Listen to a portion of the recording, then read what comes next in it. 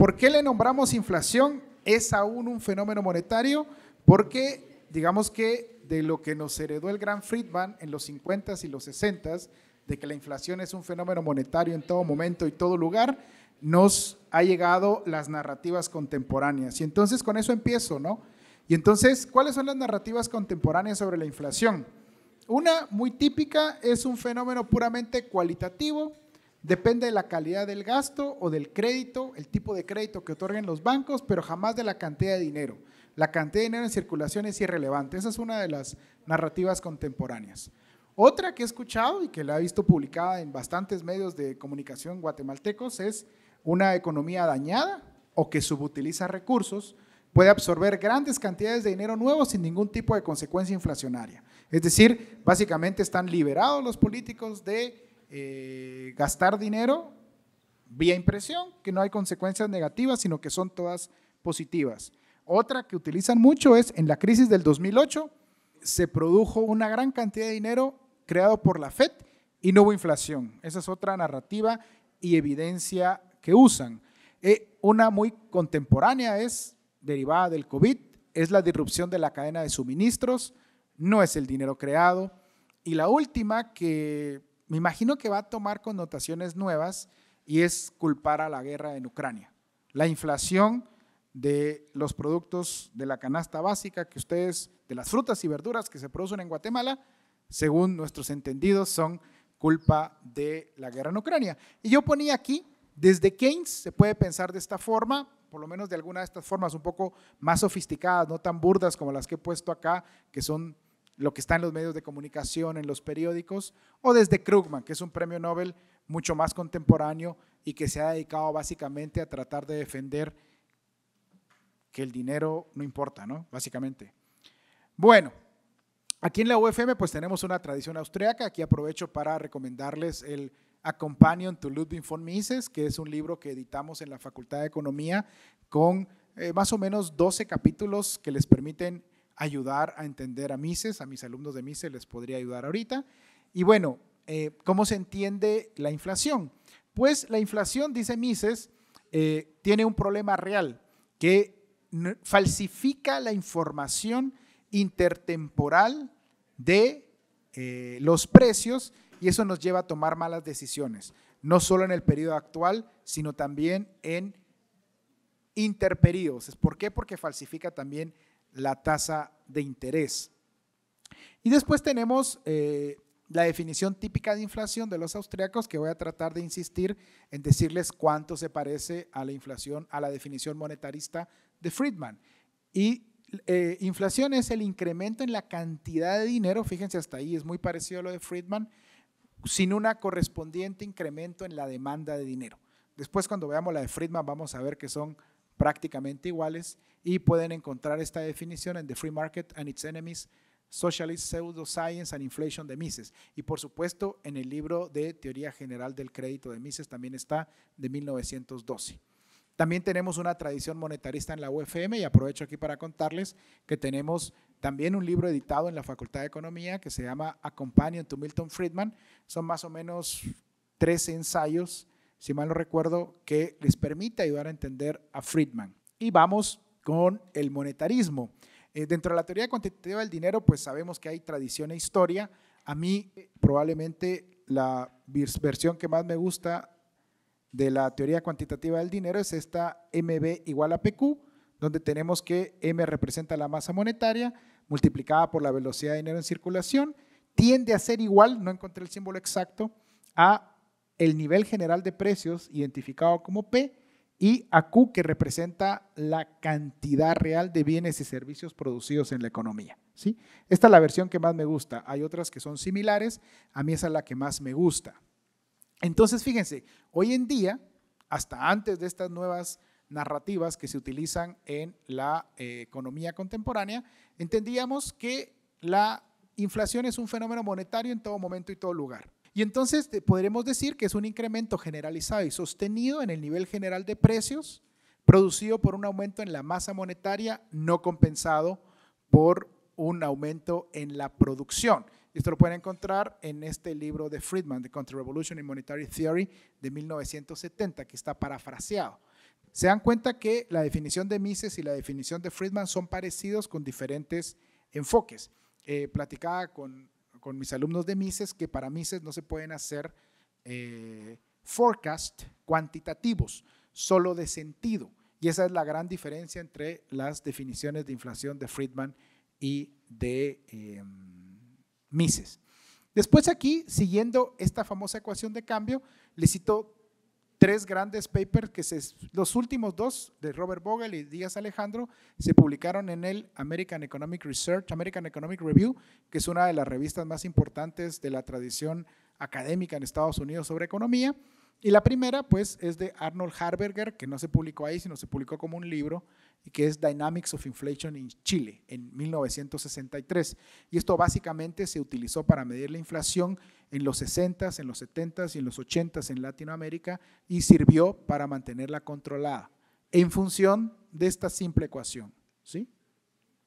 Y aquí, pues esto no se los voy a contar a detalle, básicamente es que yo lo que hice es aplicar a Guatemala estos modelos y Tampoco les voy a pedir, digamos, que eh, nos pongamos a ver cada uno de los detalles, pero lo importante es que los resultados son em, significativos y los coeficientes tienen los signos que deberían tener. Y básicamente es que más dinero afecta el nivel general de precios y más producto descuenta el nivel general de precios, que básicamente es seguir la ecuación. Entonces, fíjense, ¿qué es lo que estoy tratando de decirles? Tenemos unas narrativas contemporáneas que nos vienen a decir que la inflación ya no es un fenómeno monetario, sino que hay cientos de miles de circunstancias que afectan los precios. Eso los economistas siempre lo hemos sabido, ¿sí? Lo que estamos tratando de ver es qué causa la inflación.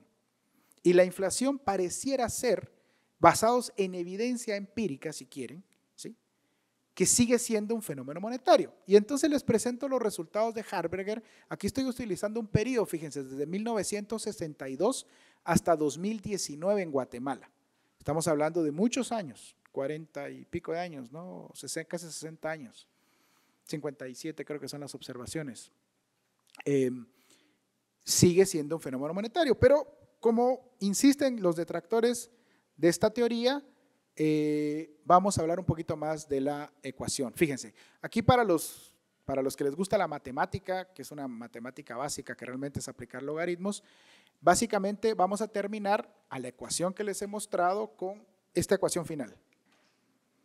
Y fíjense, me dice que los crecimientos, el logaritmo natural de la masa monetaria, menos el crecimiento de la producción, me van a dar o tienden a ser igual al nivel de cambio del nivel general de precios. ¿sí? Por supuesto que aquí está toda la matemática, ustedes la pueden ver, es una matemática muy simple, si quieren publicar la, la presentación la pueden publicar, no hay ningún problema. Y aquí tengo los resultados empíricos para Guatemala. Esto los calculé el fin de semana y los he calculado. De hecho, estos mismos datos los publiqué en Prensa Libre hace como un mes y medio, eh, precisamente tematizando esto. ¿no? Y entonces, fíjense, de un periodo de 1995 a 2021, vemos estos resultados, ¿no? Que la masa monetaria que creció 10.93, el Producto Interno Bruto, que es la producción real, creció más o menos 3.49 y eso nos da un resultado de 5.92 de inflación, ¿sí? ¿Cuál es la inflación real? 7.44 de ese periodo. Entonces, tenemos que más o menos el 80% de la inflación está explicada por el crecimiento en la masa monetaria y el descuento o no descuento de la producción. Voy a regresar un segundo. Aquí podemos ver, digamos, que en estos resultados que les mostré anteriormente, en estos periodos de tiempo, que es un poquito más largo, porque es desde el 2000, desde el 60, del 60, la inflación está explicada en 85% por fenómenos monetarios. Y aquí con un ejemplo sencillo estamos logrando explicar hasta un 76, un 80% en un periodo más corto. Y tenemos aquí unas eh, conclusiones importantes. La inflación sigue siendo un fenómeno monetario, Yo me enfoco en Guatemala básicamente, pero vamos a ver que tanto Paul como nuestro amigo Luis Pedro van a hablarles un poquito de la inflación en el mundo, ¿sí? Y algo que quiero recalcar, digamos, que la gran diferencia entre la definición de Friedman y Mises, que pareciera ser tan diferente, es básicamente por una explicación que hace Mises en el capítulo 6 de la acción humana. Al final, cuando está hablando de forecast, si no lo han leído, se lo recomiendo. No se pueden hacer forecasts cuantitativos solo de sentido o de tendencia. Friedman, obviamente, está en otra tradición epistemológica, ¿sí? Pero, ¿qué nos dice la evidencia ante las famosas narrativas contemporáneas?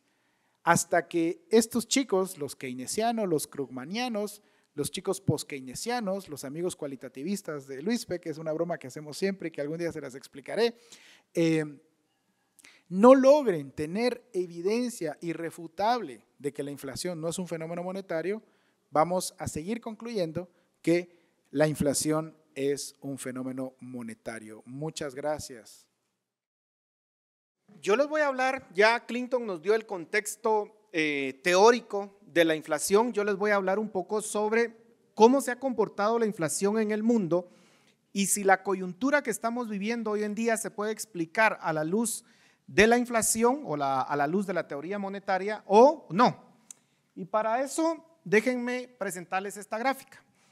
Esta gráfica que ustedes ven acá eh, viene, si ustedes se dan cuenta, es la inflación de Estados Unidos y viene desde 1948 hasta el último dato disponible que es a septiembre, agosto de este año. ¿Qué es lo que se puede ver en esta gráfica?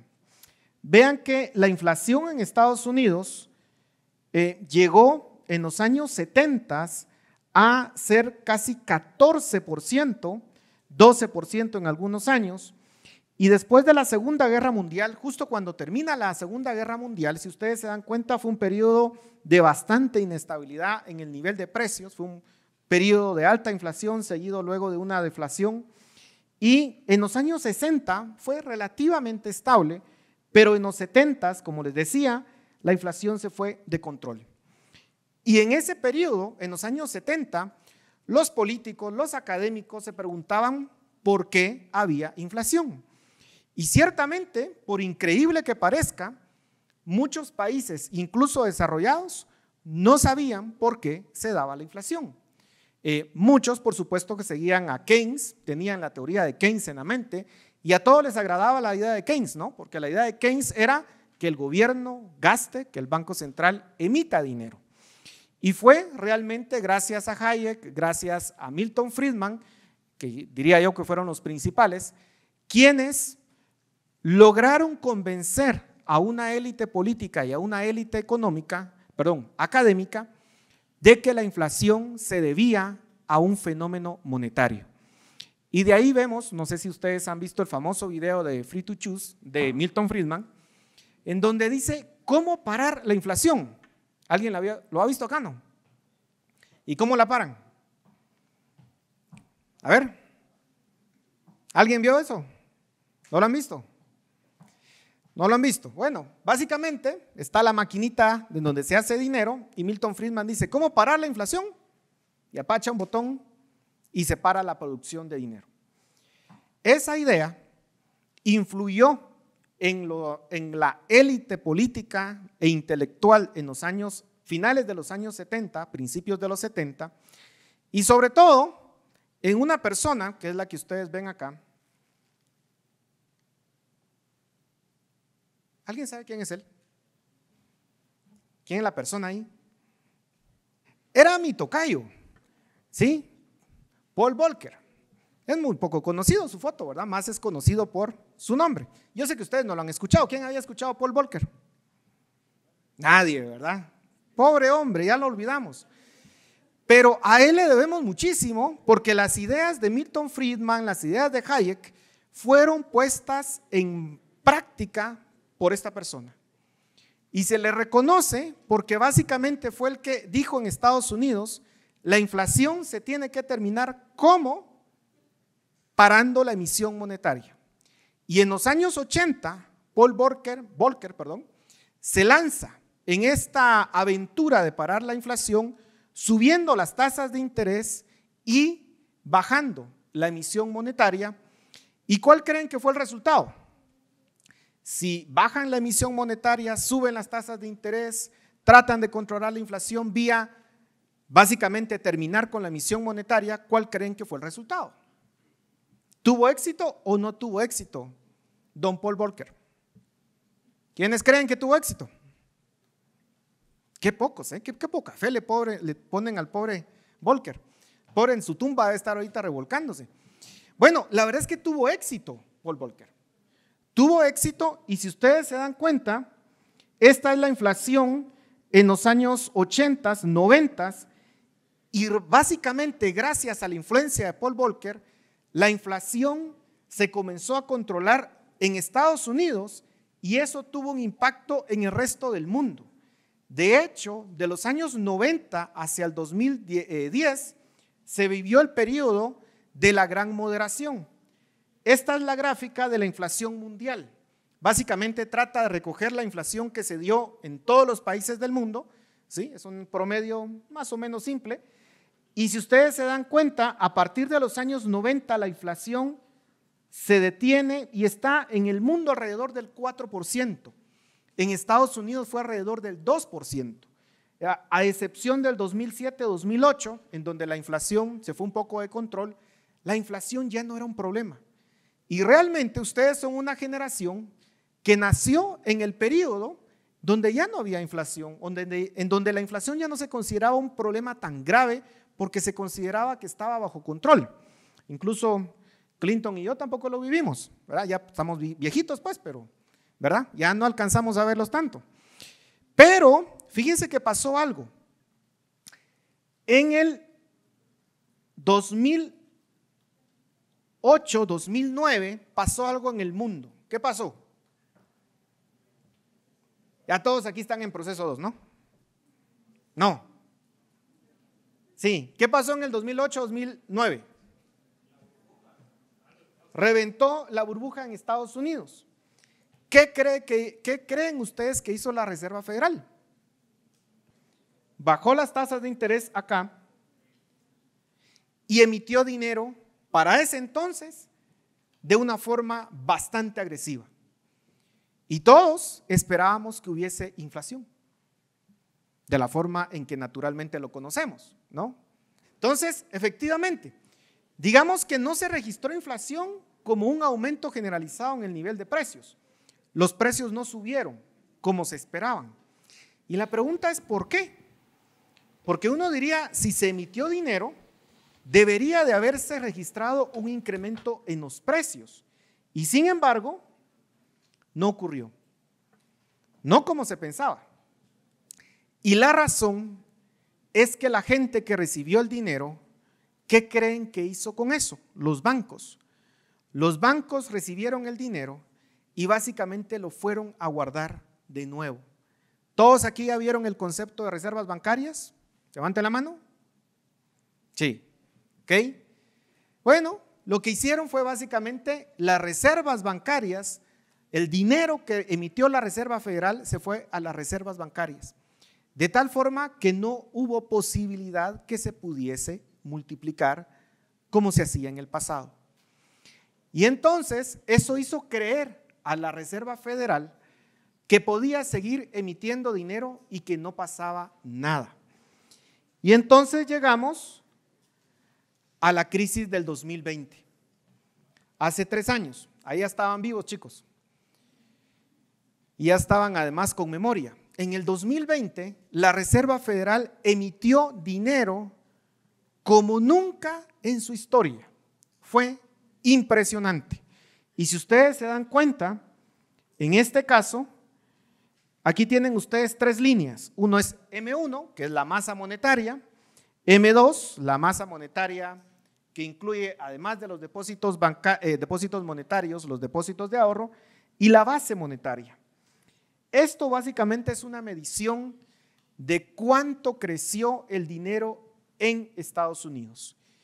Esto va desde el 2000 hasta el 2021. Y si ustedes se dan cuenta, pues aquí claramente se ve un salto impresionante en la cantidad de dinero moviéndose en la economía de Estados Unidos. Pero con una diferencia. En esta ocasión, los bancos no guardaron el dinero en las reservas. En esta ocasión, la gente sí tomó préstamos. Y al tomar préstamos, el dinero se multiplicó en el sistema bancario. ¿Y qué creen que pasó? Hoy estamos con la inflación en Estados Unidos. Vean, esta es la inflación de Estados Unidos. Esa línea roja que ustedes ven ahí, básicamente está uniendo este punto, que es el último dato de inflación, con los años finales de, eh, finales de los años 70, cuando había una inflación tan alta que recordémonos, Paul Volcker tuvo que aplicar una medida muy dolorosa para la economía de Estados Unidos. ¿Qué nos demuestra esto? Que si el Banco Central emite dinero, ¿qué va a provocar?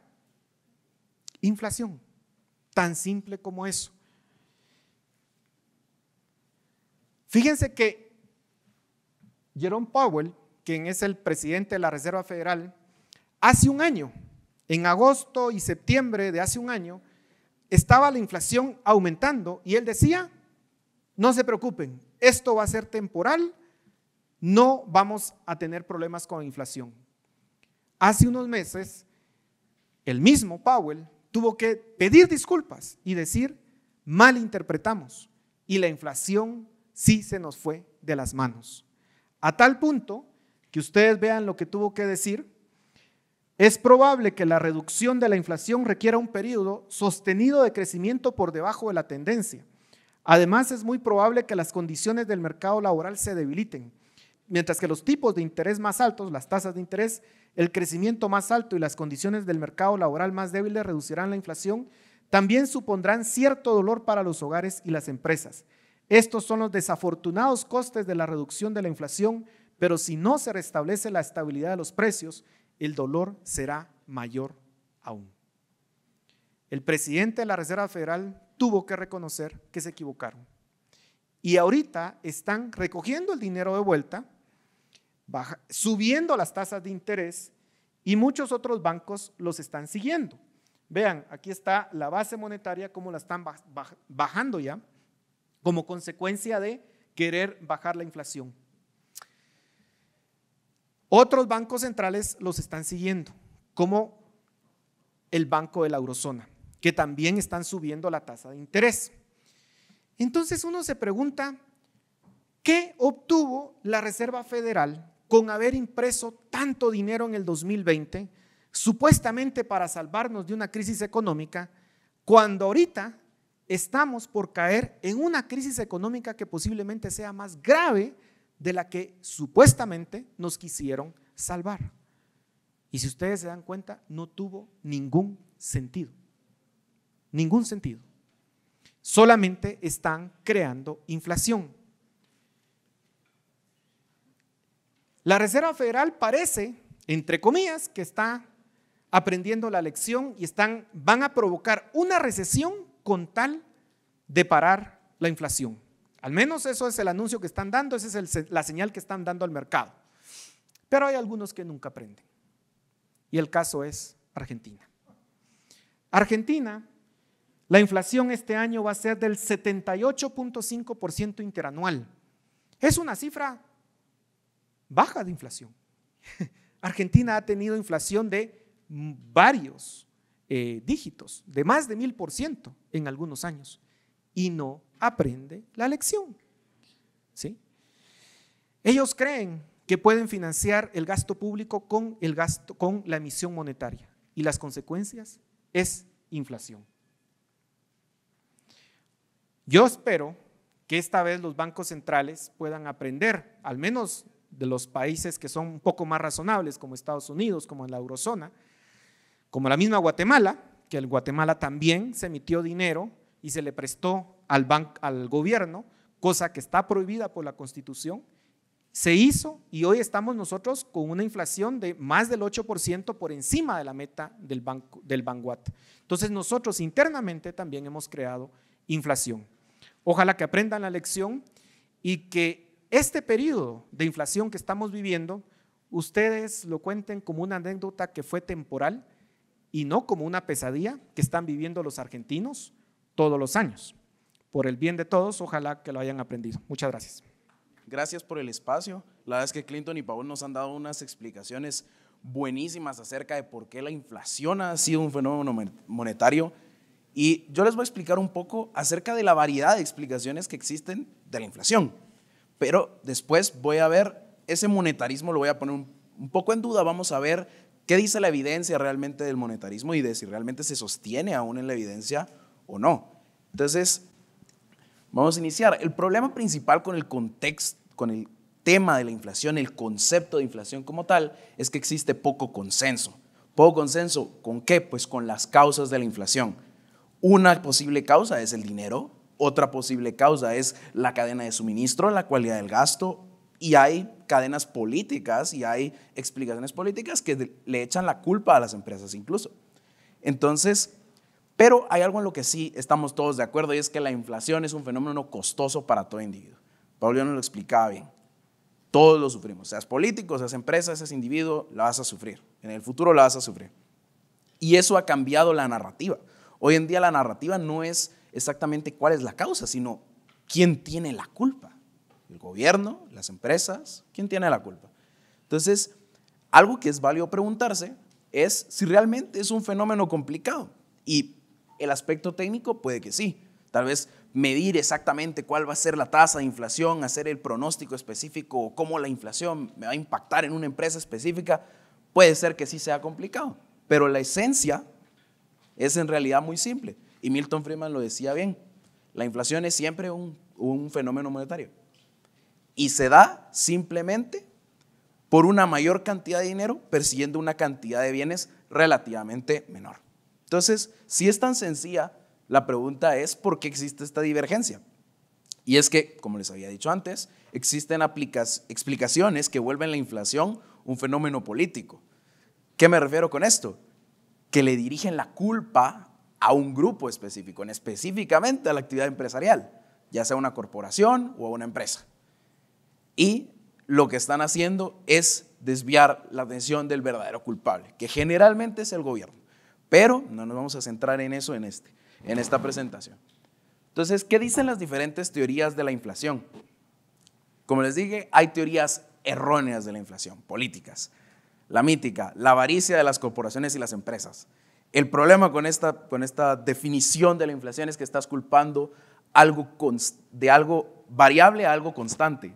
Técnicamente las empresas siempre son avariciosas, siempre quieren una ganancia. Ese es el objetivo de cualquier empresa. Y de una corporación, pues maximizar el valor de sus accionistas. El propio Milton Friedman lo decía. Entonces, pero la inflación tiene periodos de crecimiento constante, crecimiento constante muy alto y periodos de crecimiento constante muy bajo, como la gran moderación que nos hablaba Paul. Entonces, estás culpando algo que es constante, algo que es variable. La inflación no es explicada por la avaricia.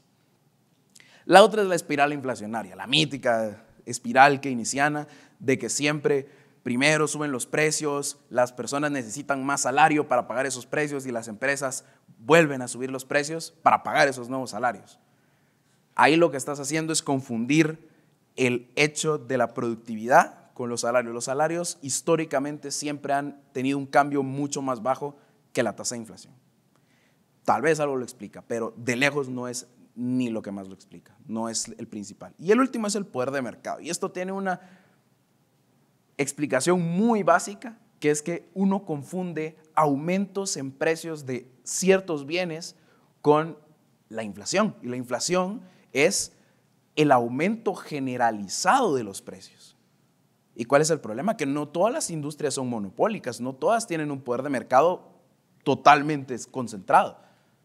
Hay empresas competitivas. Y eso no está aumentando el nivel generalizado, está aumentando un precio. Un aumento de precio de un bien no es inflación. Inflación es cuando es generalizado. Esas son las malas que han sido históricas, digamos, y aparte son las narrativas contemporáneas que Clinton bien nos, explicaba que actualmente pues no tienen mucho sentido. Y ahora pasemos a la mejor explicación, que es el enfoque monetario. ¿Qué dice el enfoque monetario en sí? Que los cambios en los precios son causados por cambios en la cantidad de dinero en circulación en el mediano o largo plazo. ¿Qué quiere decir esto? Basado en la teoría cuantitativa del dinero, masa monetaria por velocidad de circulación, igual al nivel de precios multiplicado por la cantidad de producto. Si uno despeja esa inflación, esa ecuación, lo que le queda es que debería de haber una relación entre la cantidad de dinero y el PIB nominal en el mismo plazo, en el largo plazo, mediano plazo. Entonces, ¿qué pasa con esto? Es que es muy dependiente del país en el que se realiza el análisis. Me refiero con esto a que la cantidad de dinero, el agregado monetario que usemos, digámoslo así, la base monetaria versus la cantidad de, depósitos, por ejemplo, los depósitos de ahorro, lo que conocemos como M1, M2 y así sucesivamente hasta llegar a M4, que es lo que más se, calcula, lo más amplio en, en el mundo, es que tenemos que tomar el sentido del dinero amplio, nos interesa lo que está en manos de la gente, no lo que está en el Banco Central. Si el banco emite una cantidad de dinero, es muy diferente a la que realmente está en las manos de la gente. Entonces, vamos a dar un poco de la evidencia. Aquí está la tasa de inflación a lo largo desde 1960 hasta 2020 en Estados Unidos. ¿Se dan cuenta? Los dos picos en la época de Paul Volcker que, que Paul nos explicaba y después una gran moderación en torno al 2%. ¿Qué pasó en 2008? Que ahí pueden ver, se las marqué ahí. Es que la base monetaria M0, el dinero creado por el Banco Central, que incluye las reservas, exponencialmente para arriba. La inflación que pasó no estaba aumentando. Y esto se usa mucho para criticar al monetarismo hoy en día. ¿Qué es lo que pasa? Que esta no es la cantidad de dinero que nos tenemos que fijar. Esto no es la cantidad de dinero en manos de la gente, de los individuos. Es la cantidad de dinero en el banco. Es diferente. Está en reserva, está bajo llave. Eso no lo están haciendo para usar, para hacer intercambios, para hacer compras. Entonces, veamos un poco cómo es la relación con la cantidad de dinero amplio. En este caso, M3 lo calculan en Estados Unidos utilizando el Shadow Government Statistics, se hacen cálculos independientes a los de la Reserva Federal, pero si utilizan la gráfica con M2, que sí es calculada por la Reserva Federal, les queda una relación bastante parecida. ¿Qué es lo que tenemos en esta gráfica? Alrededor de donde está el pico de, inflación, en 2000, perdón, el pico de la base monetaria, este es el crecimiento, por cierto, está la crisis del 2008. ¿Qué pasó aquí? Hubo una presión casi deflacionaria en el 2008 en el cambio en la tasa de inflación. ¿Dónde se mira esto más claro? En la, en la línea anaranjada. Aquí. empezó a caer la cantidad de dinero antes que el PIB nominal. ¿Por qué? Porque la relación es en el mediano y largo plazo. Entonces, vamos a ver realmente si es válido el enfoque monetarista. Y para esto hay que someterla a la, evidencia el supuesto base, que es que si existe una relación entre la cantidad de dinero, amplio, ya les explico por qué, y el PIB nominal. Entonces veamos, Estados Unidos, por facilidad, podemos ver, aquí tengo el periodo de 1960 a 2020, cambios en dinero amplio, en este caso M3, 7.66, cambio en PIB nominal, 6.3, y así sucesivamente. 7, 7, 11, 10, 7, 60, en 1981, 1990 fue exactamente igual, 560, eh, 557, y luego en la, en, al siglo XXI, ya con la crisis del 2008, pues vemos que se separan un poco, pero sí, y aquí pueden ver la, la relación. Esta es una media móvil para analizar un poco las tendencias y la relación es clara. ¿Funciona solo en Estados Unidos? No, desde luego que no. Les pongo el ejemplo del Reino Unido una relación bastante parecida. 9-7, 15-16, 6-5. En general, también se mantiene. Reino Unido utiliza una cantidad de dinero más amplia todavía, M4. Es una de las más amplias en todo el mundo. Pero la relación se sigue manteniendo. No es perfecta, hay muchas otras cosas que explican la inflación, pero, pero se mantiene la tendencia en el mediano largo plazo. Bueno, pero es que estas son explicaciones en países desarrollados, lo mismo en un país como Guatemala, no se cumple. Veamos qué pasa con Guatemala. En Guatemala la relación es exactamente igual, 14-12, 15-16, se parecen, mantienen esa cierta explicación, Y hay una pequeña divergencia por las diferentes leyes y los cambios alrededor del lado 2000, pero en general la tendencia se mantiene. En Guatemala también. Entonces, vamos a ver un poco qué pasa hoy en día con la inflación. Entonces, sigue siendo un fenómeno monetario y vamos, a, Clinton vio la, comportamiento en Guatemala, veamos un poco nosotros de Estados Unidos, ah, un poco de una perspectiva diferente a la explicación de Paul, que también fue muy buena. ¿Cómo es el monetarismo en la, en la práctica? Vamos a usar algo que se llama la regla de Friedman, la más clásica de todas. Basada en la teoría cuantitativa del dinero, MB igual a PQ, política monetaria, y das una referencia para cuánto debería de ser el crecimiento del dinero. Dinero amplio, por supuesto, según la teoría cuantitativa. Vamos a utilizar un despeje con las tasas de variación y vamos a comprobar un poco cómo es el comportamiento de estas variables en Estados Unidos, por supuesto. Y la velocidad del dinero se considera más o menos constante. Ese es un supuesto de la teoría monetarista. Y el y los datos históricos tienden al menos 1%, tiende a reducirse un poco el cambio. Y el PIB real, que en la regla de Friedman se utiliza el PIB real, tiende a crecer de forma constante, otro supuesto clave. Y en el en consenso mundial está alrededor del 2%. Para ver si esto es válido, primero tenemos que ver si la velocidad de dinero es constante. Pueden ver la, el comportamiento parece que tiende siempre a una media y una varianza constante, lo que llamamos una serie estacionaria. Lo es, efectivamente. Hice la prueba y sí, la, velocidad del dinero es una variable estacionaria, por lo que podemos hacer una buena aproximación al considerarla constante. Si se mantiene en la evidencia el supuesto monetarista. Entonces, ¿qué debería, qué debería ocurrir en 2022? ¿Qué debería haber ocurrido? Pues tomemos la ecuación despejamos un poco para la cantidad de dinero y vamos a, sustituir por los valores que ya teníamos. Vamos a poner el nivel de precios, la meta de la Fed, la meta de la Reserva Federal, 2%, eh, alisado en promedio durante un, durante un valor que nadie sabe cuál es, ni ellos mismos saben cuál es porque no lo han dicho, pero es el 2%, esa siempre ha sido la meta. 2% de crecimiento anual del PIB real en, en la Q y la velocidad del dinero en negativo que menos por menos más y, vamos sumando. ¿Qué nos, ¿Qué nos queda? Que el dinero para mantener una estabilidad de precios, si queremos así, para mantener esa meta de inflación anual, para que no haya una inflación exagerada, debería de estar alrededor del 5%. Y siempre se le agrega pues más menos 1% por márgenes de error y, y temas. Pero en general debería estar entre 5 y 6, digamos, para que no haya tanto.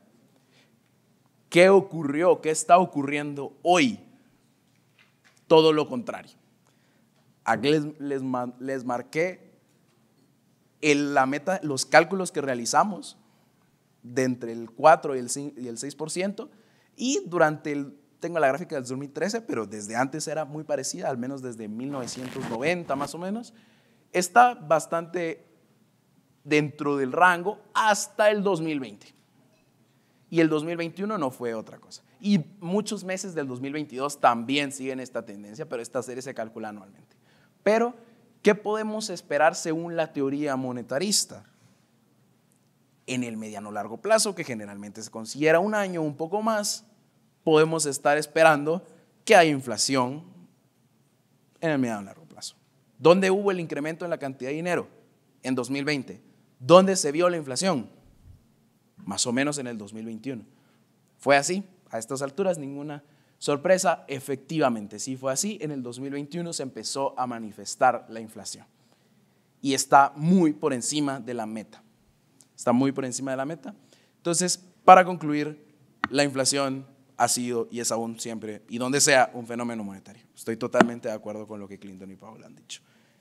Y si queremos controlar la inflación, el dinero importa. Y por supuesto, para también agregar el la contrapartida, digamos, es que el dinero no explica toda la inflación, pero cualquier interpretación siempre y en todo lugar va a estar incompleta si no le da el papel que éste se merece. Muchas gracias.